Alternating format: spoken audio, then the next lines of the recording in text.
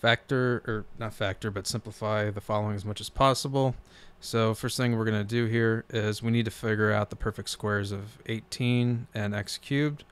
So rewriting the radical, so I end up a per perfect square of 18 is 9 times 2. It can be broken down to that, and 9's a perfect square because 3 times 3 equals 9. And then x, cu x cubed has x squared in it, and then times x.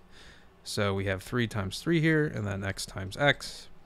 And you pull these out, so what we end up with here is on the outside we get uh, 3x, and then what's left inside is just this 2, and then the x here times 2x.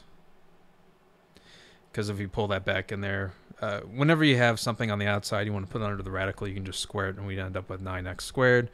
9x squared times 2x is 18x cubed. So anyway, I hope this helped you out. I appreciate you watching this video, and you have a great day.